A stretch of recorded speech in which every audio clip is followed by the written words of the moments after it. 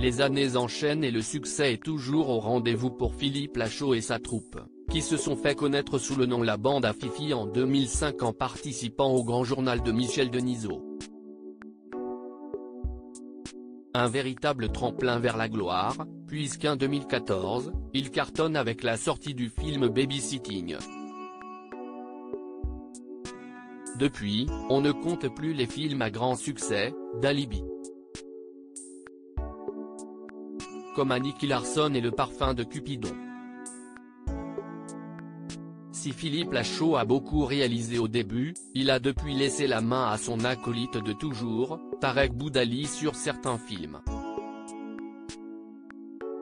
Après Épouse-moi mon pote, il a réalisé 30 jours max, une comédie policière dans laquelle il tient le rôle principal. Bonne nouvelle pour tous les fans du film, puisqu'une suite vient d'être annoncée et si est Tarek Boudali en personne qui l'a fait savoir. Sur son compte Twitter, le comédien de 42 ans a publié un tweet pour le révéler à ses abonnés et il a même dévoilé le titre en exclusivité, Les amis, je vous annonce que le tournage de mon nouveau film a commencé.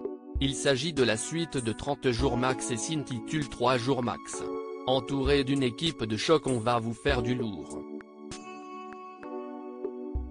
Sur la photo qui accompagne l'annonce, on peut voir l'acteur et humoriste torse nu devant une énorme caméra.